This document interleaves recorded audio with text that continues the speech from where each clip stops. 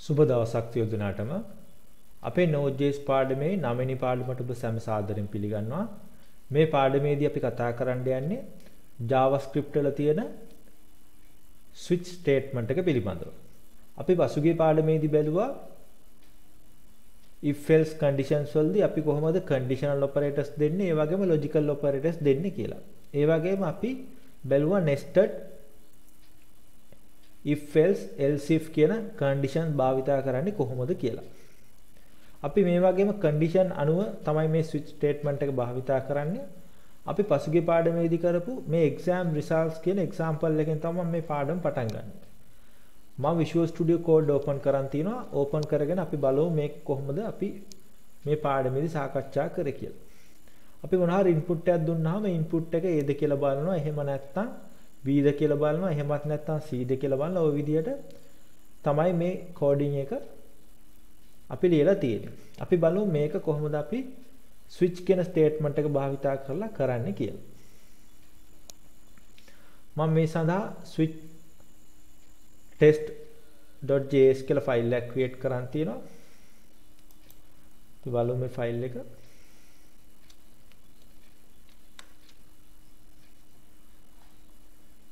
මේක තමයි අපිට අවශ්‍ය වෙනදී අපි ඉස්සෙල්ලාම constant එකක් variable එකක් අවශ්‍ය වෙනවා result කියලා. අපිට මේකේ value එකක් දෙන්න පුළුවන්. ඊට පස්සේ අපිට switch statement එක දෙන්න පුළුවන්. switch කියලා දීලා අපිට මෙතන condition එක දෙන්න පුළුවන්. මොනවද එක එක cases. result කියන එකේ මොනවද වෙන්න පුළුවන් case. A B C S W කියන case තමයි වෙන්න පුළුවන්. අපි curly braces දානවා දාලා case එක A නම් colon එක දාලා අපි දෙනවා console.log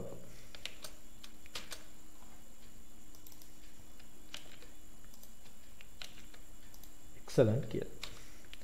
දීලා අපි මේ කේස් එක මෙතන නවත්තන්න ඕනේ. ඒ හින්දා අපි break කියන එක type කරනවා. ඊට පස්සේ අපිට දෙන්න පුළුවන් ඊළඟ කේස් එක.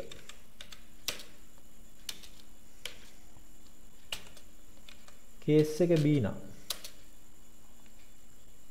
මම මේ කොපි කරනවා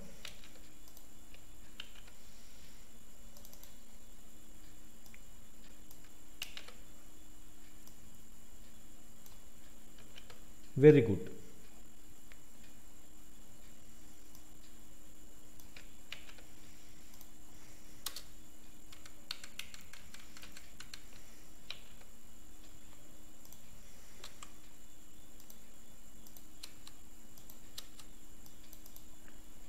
කේස් එක C නම්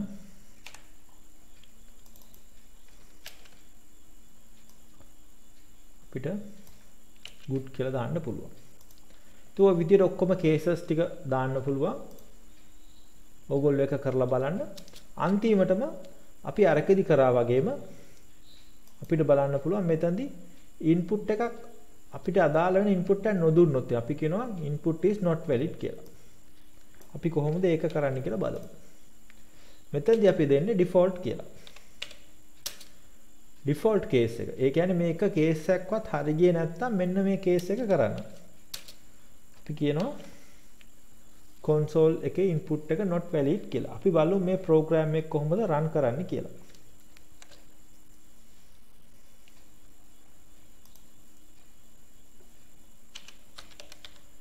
අපි node වලට ගිහිල්ලා අපි මේ ෆයිල් එකේ නම දෙනවා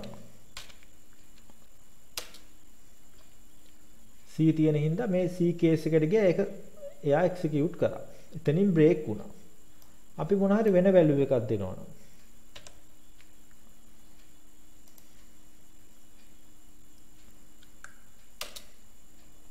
අපිට ඒක කියනවා input එක not valid කියලා. දැන් අපිට මේ break කියන statement එක දාන්න බැරුව ගියොත් මොකද වෙන්නේ? අපි බලමු මොකද වෙන්නේ කියලා. මම පළවෙනි දෙකට break කියන එක දාන්න නැතුව බලනවා මොකද වෙන්නේ කියලා. බලන්න.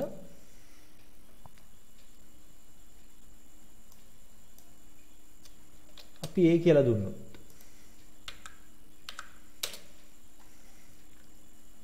මේ A කියන කේස් එකට යනවා. ගිහිල්ලා excellent කියන එක print වෙනවා. very good කියන එක print වෙනවා. good කියන එක print වෙලා එතනින් තමයි එක break වෙන්නේ.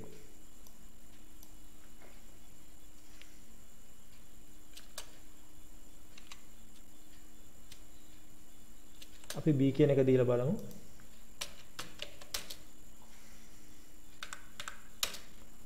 B කියන එක දුන්නා මේ කේස් එක රන් වෙන්නේ නැහැ. B කියන කේස් එකට යනවා ගිහිල්ලා එතනින් මේක එක්සිකියුට් වෙනවා ඊට පස්සේ බ්‍රේක් වෙන්නේ නැහැ. ඊළඟ කේස් එකකටත් ගිහිල්ලා එතනින් බ්‍රේක් තමයි වෙන්නේ.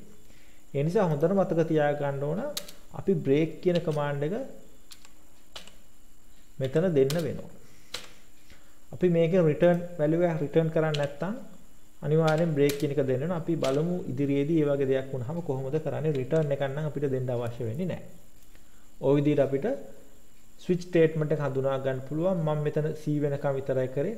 SRW කියන එකක් දෙන්නත් පුළුවන්. ඕගොල්ලෝ ඒකත් try කරලා බලන්න. දැන් අපි මේ පාඩමේදී තවත් දෙයක් ඉගෙන ගන්න බලාපොරොත්තු වෙන ඒ තමයි ternary operator එක නැත්නම් conditional operator එක මොකක්ද කියලා. මම මේ සඳහා ternary.js කියලා ෆයිල් එකක් ක්‍රියේට් කරන් තියෙනවා. අපි බලමු මේ ෆයිල් එක. මේ ෆයිල් එක අපි දන්න සාමාන්‍ය ෆයිල් එකක් constant එකක් තියෙනවා අපි මොනවාරි ස්කෝර් එකක් තියෙනවා මේ ස්කෝර් එක 50ට වැඩි නම් අපි කියනවා පාස් කියලා එහෙම නැත්නම් ෆේල් කියලා දෙනවා. ඕක තමයි සාමාන්‍ය ලොජික් එක.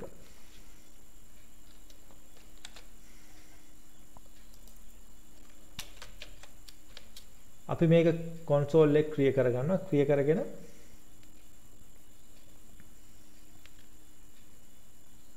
අපි මේ කමාන්ඩ් එක රන් කරලා බලමු.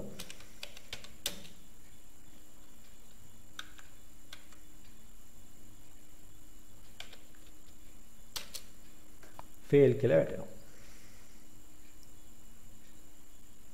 අපිට මේකම දෙන්න පුළුවන් ටර්නරි ඔපරේටර් භාවිතා කරලා මම මේක කමෙන්ට් කරනවා.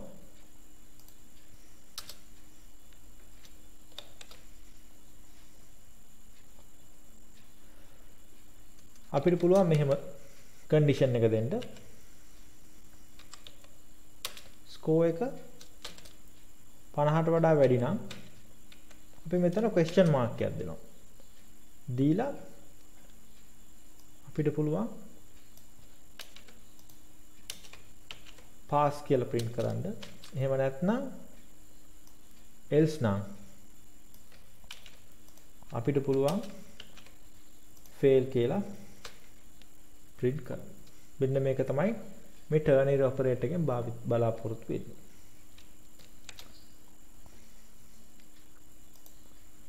අපි මේක run කරලා බලමු. 40යි තියෙන්නේ ඒ නිසා ඒක fail වෙනවා. අපි 60 කියලා දෙමු.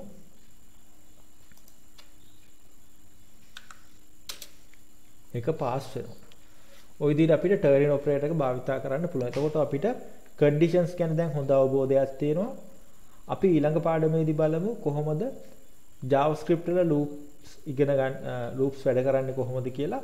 ඔබ මේ වගේ පාඩමාලා නරඹන්න කැමති නම් මගේ channel එකට subscribe කරන්න. ඒ වගේම ඔබට මේ සම්බන්ධයෙන් මොනවාට ගැටලුවක් තියෙනවා නම් මගේ YouTube channel එකේ comment section එකේ comment එක දාන්න මට පුළුවන් විදිහට උදව් කරන්න මම බලාපොරොත්තු වෙනවා.